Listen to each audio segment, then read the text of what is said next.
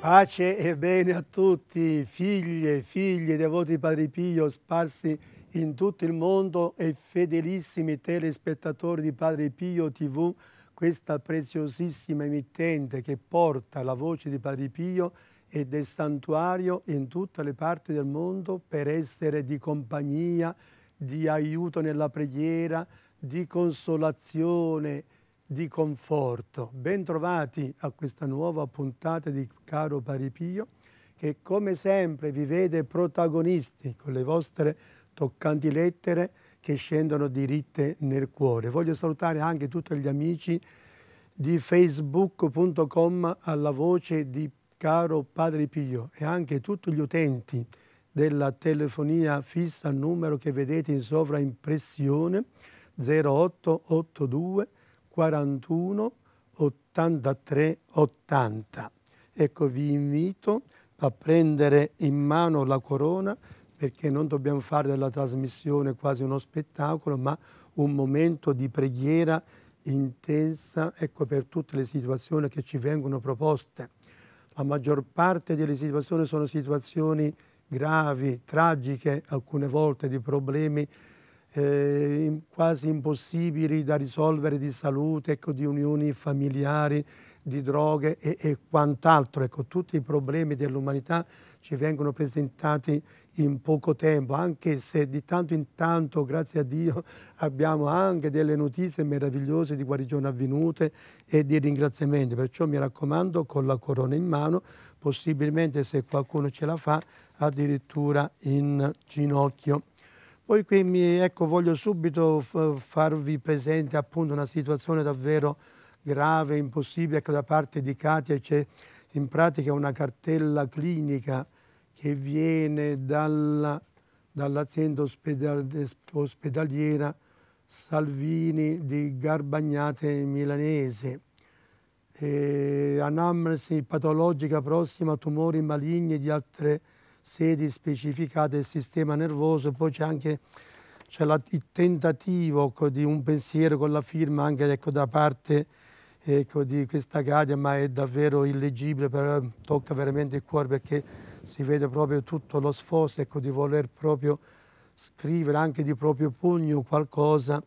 Mi sembra che riesco a leggere per Padre Pio e qualche altra cosa certamente che chiede con ecco, l'aiuto forte ecco, di Padre Pio ecco, nell'intervenire in questa situazione davvero che io definisco tragica, ma davanti a Dio e con nulla è impossibile, mi raccomando a tutti di pregare. Poi c'è ancora... Eh? C'è una, una, telefonata forse? Sì. Sì, allora una telefonata mi dice la regia che accolgo con gioia, pronto? Pronto? Sì, con chi parlo? E da Sono dove? Luciana da Verona.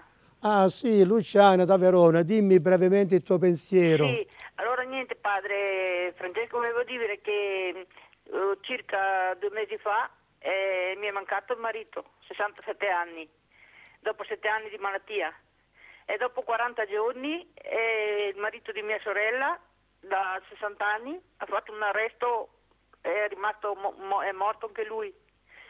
Chiedo preghiere perché non sono più capace di andare avanti e dopo ho un figlio che, che si è perso completamente, non vuole più saperne della chiesa di niente, ha 34 anni e non so più cosa fare, mi sento impazzire per queste due disgrazie, in più il figlio che è così, che non, proprio si, si, è lasciato andare, è sempre andato a scuola ai salesiani, ha fatto tutto, però non, non, non riesco più a, a farlo andare in chiesa, più niente, ha perso tutti i valori.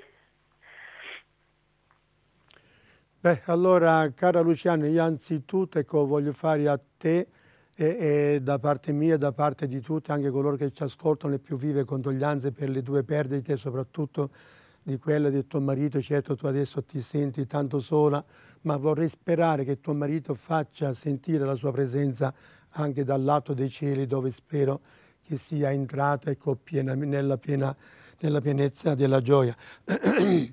Poi voglio sperare, sperare davvero che tuo figlio prima o poi riacquisti la fede, perché il seme comunque c'è stato, andava dai salesiani, tu certamente hai, hai infuso in lui ecco, i principi della fede. io sono sicuro che prima o poi un po' come la brace che, che sotto la cenere sembra tutto spento, ma in realtà c'è fuoco ancora. Voglio sperare che prima o poi ecco, questa fede si, si rivitalizzi, perché senza fede oggi non si sa dove eh, si va a finire. Purtroppo molti perdono la fede oggi. C'è tanto benessere e allora di fronte alla prima difficoltà si perde la fede, oppure altre addirittura a causa del benessere perdono la fede e questo proprio non va. Ci si ricorda del Signore quando ecco, ci sono i problemi. Ovviamente tu non ti sei ricordato soltanto adesso che ci sono i problemi, sono sicuro che tu sei una persona che prega, che vai sempre a messa anche quando le cose vanno bene oppure quando vanno male, ma lo dico a tutti, cerchiamo di avere una fede viva, coerente, sempre in crescita, così come deve essere l'amore anche di coppia, sempre in crescita, mai diminuire e mai neanche fermarsi allo stadio iniziale. Quando queste cose vanno avanti, amore che cresce, la fede che cresce, ecco gran parte del paradiso lo, vivia, lo viviamo già su questa terra. Ma mi raccomando, coraggio, sembra avanti e, e cerca di inserirti in qualche gruppo parrocchiale così ecco, vincerai anche un po' la solitudine.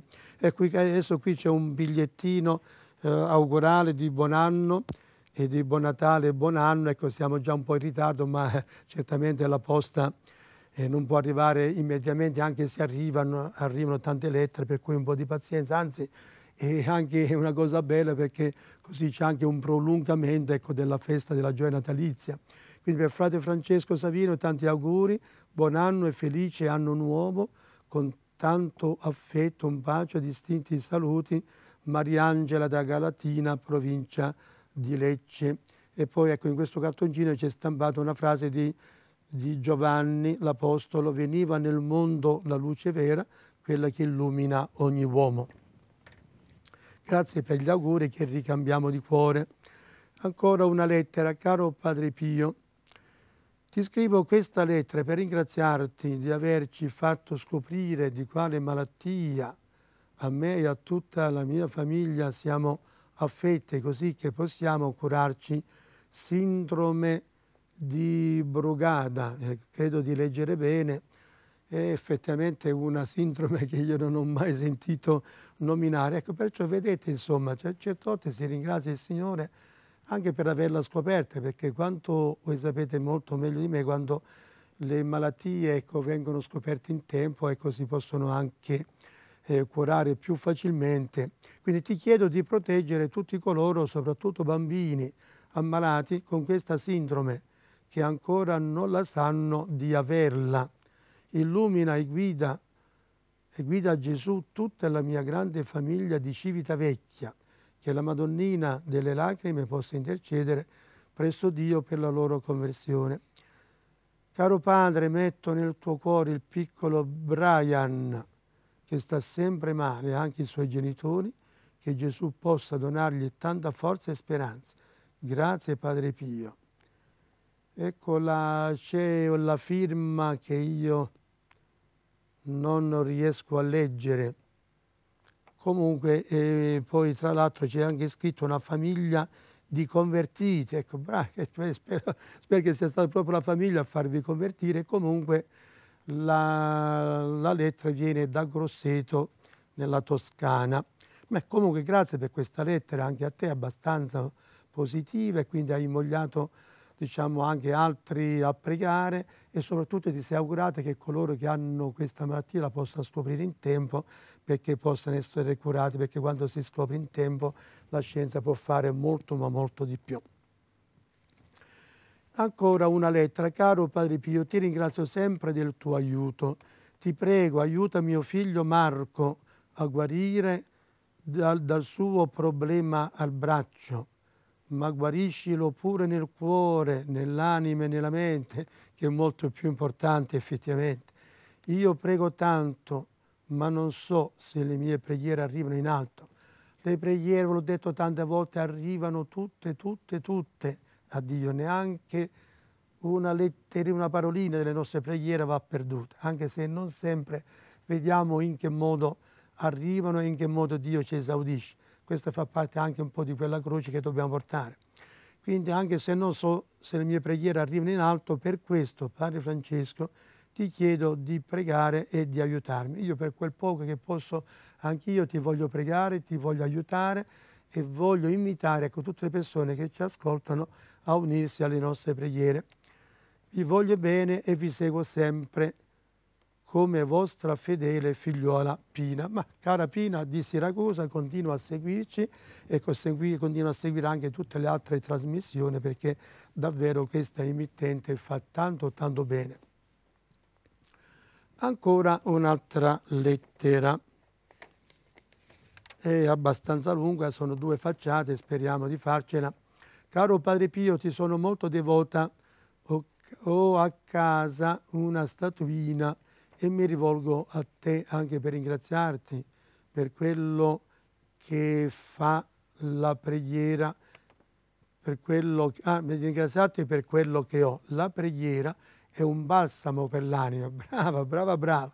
È un'ottima, stupenda frase questa che hai detto, che la voglio, ecco, eh, che voglio comunicare anche a tutti coloro che ci ascoltano. Cercate di tenerla a mente questa bella espressione. La preghiera è un balsamo per l'anima.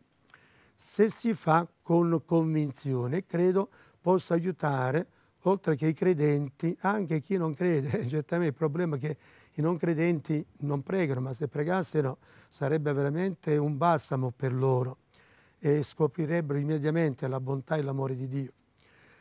Sei stato il frate francescano più grande del nostro secolo, ovviamente si riferisce a Padre Pio e io quasi quasi starei per dire non solo di questo secolo ma di tutti i secoli, e dopo San Francesco forse, ed hai avuto una fede incrollabile. Per questo ti chiedo di aiutarmi a superare i dubbi che fanno parte della natura umana.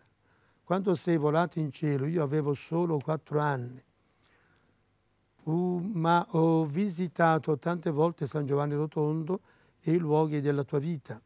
Quanti avrebbero voluto assistere ad una tua santa messa, ma ora che esiste te, la te Padre Pio è come se tu fossi ancora vivente chi ha avuto la fortuna anche una sola volta di vederti non ti dimenticherà mai.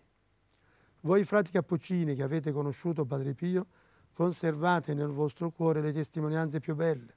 So che Padre Pio non viveva sopra le nuvole, ma conosceva tutti i pensieri delle persone che andavano da lui e li faceva tornare a casa sereni e rassicurati perché la sua parola era arrivata al cuore. Ma effettivamente Padre Pio ecco, diciamo, non era del mondo, ma viveva con il mondo e anche se non è uscito mai da San Giovanni Rotondo e neanche dal convento, eccetto rarissime volte, per uscite brevissime per l'ospedale o per andare a votare o per andare a casa Maria Paila quando era ammalata la mamma, poi il padre, poi il fratello. Ma Padre Pio ha girato tutto il mondo in bilocazione, quindi prendendo seriamente al cuore le sofferenze di tante e tante persone. Grazie Padre Pio per la tua umiltà, per la tua santità e grandezza che ti fece somigliare tanto a Gesù. Colgo l'occasione per augurarvi a voi tutti un buon Natale e un felice anno nuovo e per ringraziarvi indefinitivamente, infinitamente per la vostra trasmissione. Prego il Signore Gesù e Padre Pio per ricompensarvi del vostro aiuto spirituale che date a tutti noi. Cifone, da Cifone, Valle Piana, Salerno, Teresa. Ma grazie anche a te, cara Teresa, sia per gli auguri che hai mandato, sia per questa lettera tanto positiva, sia per le tue preghiere sia anche per i complimenti che hai fatto a tutti noi. Intanto purtroppo devo subito interrompere, volevo dire qualche altra cosina, ma accolgo con gioia un'altra telefonata in diretta. Pronto, con chi parlo? Pronto, io sono la Valdez Rosalì. Eh, io ho ricevuto una grazia di Padre Pio, molto bello. Me, mi ascolti? Sì, sì, ti ascolto. Allora, sì. Rosalia, mi sì. sembra da Milano, hai detto, vero? Da Milano? Sì, sì. Allora, sentiamo Rosalia eh, brevemente, ecco, raccontaci questa grazia che hai ricevuto e finalmente sì. arriva qualcosa di bello e di positivo. Sì, è bellissimo perché io eh, ho fatto un incidente mortale, ho fatto due anni in coma. E, ah, le gambe mie erano da tagliarmi le due gambe. E, io quando sono svegliata in coma eh, io ho sentito un profumo, un profumo di rosa ma così bello, eh, mai sentito in vita mia e quando ho aperto gli occhi chi ho visto? Ho visto questo signore con la barba, bellissimo, e mi ha, mi ha carezzata e mi ha dato un ceffone sulla faccia. E l'indomani mi hanno detto guarda è da operarti, vanno a operarmi nella sala operazione, lì mi sono svegliata e Padre Pio era accanto a me. Io non sapevo chi era, non sapevo chi era. E mi hanno detto no, non ti abbiamo tagliato la gamba, e c'hai le due gambe, tu sei solo operata. E Padre Pio mi ha carezzata e mi hanno portato in stanza. Non l'ho mai detto a nessuno, solo a mio marito tuttora. Io, io, sono devoto di Padre Pio, non sapevo chi era, dopo ho cercato. E mi hanno detto, è Padre Pio. E mi è ingrifata tutti i capelli, ho detto Gesù Cristo, mm. perché io sono, una, sono cristiana, io sono una che volevo essere suora da bambina e non ho avuto la possibilità. Però io ho ricevuto la grazia più bella della mia vita di Padre Pio. Eh, senti Rosaria, vediamo se ho capito, da, dall'incidente mortale, diciamo, se tu sei rimasto in sì. coma e avrebbero dovuto tagliarti le gambe, sì, sì. E, e, invece per intercessione di Padre Pio questo non è avvenuto più. Non è avvenuto. Eh, eh, vedo, allora, allora, ti devo dire un grandissimo dispiacere certamente per l'incidente mortale che tu hai subito, ma una grandissima, grandissima gioia ecco, per quello che tu ci hai raccontato. Ecco perché dicevo poco fa che c'era qualcuno che diceva Padre Piglio non mi ascolta più, a voi vi ascolta. No, no, non mi allora, allora io, io vicino a tutti. Eh, allora in quel caso io ho detto forse ascolta più voi che noi perché tante volte sì. la fede semplice della gente supera sì. anche la fede dei sacerdoti. Non, non vi dovete meravigliare. Comunque io Padre ce la metto tutta anch'io. Padre Pio vuole la fedeltà delle persone. Eh, eh sì, sì. Ecco perciò dico, allora tu ci hai dato una prova, una testimonianza di questa bellissima grazia che ha ricevuto Padre Pio che ti ha carezzato, poi ti ha dato quello schiaffetto, uno schiaffetto che è molto simile allo schiaffetto che diede, non so se anche tu sai del mio libro, ecco mio, mio padre quando ha fatto un gravissimo incidente, doveva rimanere cieco e poi si è sentito tirare uno schiaffo sugli occhi, era Padre Pio e invece lo aveva guarito. E così è stato anche per te, mi, mi felicito con te e, e spero che tutti quanti gli altri si possano incoraggiare sentendo queste esperienze positive di continuare a pregare con molta fede, però bisogna sapere anche dire, Signore, se possibile, ottienimi questa grazia, altrimenti io voglio fare la tua volontà, e perché questo ci insegna Gesù. Le grazie non sono, diciamo, i miracoli non sono quotidiani, ma l'assistenza di Dio, la sua ecco, è veramente quotidiano, Dio è sempre con noi e non ci abbandona mai. Beh, adesso mi sono rimasti due minuti e spero di leggere ecco, due brevissime lettere, neanche a farla apposta, ce l'ho qui due lettere brevissime che riuscirò a leggere, poi spero di fare anche una preghiera a Padre Pio. Caro Padre Pio, tu conosci benissimo la situazione, tu sai cosa vuol dire. Ti ringrazio della tua vicinanza che sento molto. Ti supplico dunque, Padre Pio, di pregare per me il padre e la madre.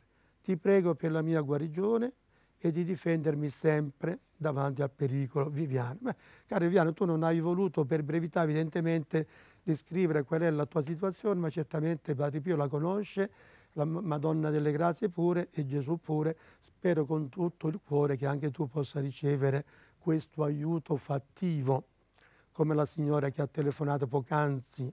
Ancora, carissimo Padre Pio, mi chiamo Valentina, ho 28 anni e sono sposata da solo 8 mesi. Auguri e complimenti. Ho il tuo viso tatuato sulla mia pelle, ma io sono un po' contrario ai tatuaggi, ma se proprio proprio è meglio fare quello il volto di Padre Pio di Gesù, anziché tante volte si, si vedono delle cose, bah, lasciamo perdere. Ti chiedo per favore di proteggermi e di pregare sempre per me finché non riesco a trovare un buon lavoro.